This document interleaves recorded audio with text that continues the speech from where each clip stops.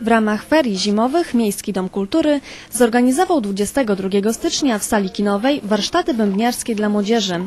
Spotkanie poprowadził Bartosz Krajewski, na co dzień członek zespołu Ruf Radix oraz artysta związany z Fundacją Spoko Dzieciak.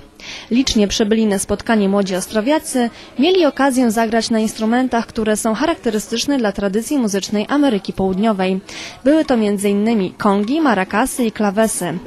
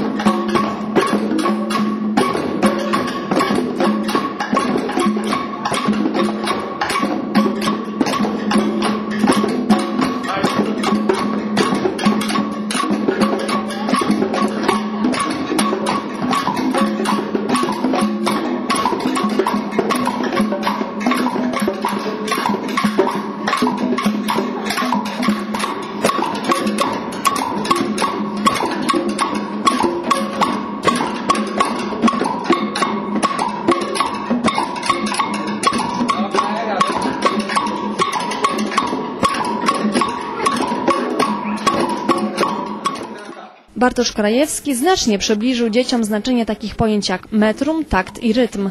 Zapoznał je także z nazwami uderzeń w bęben jak bas, tap, slap i tapado.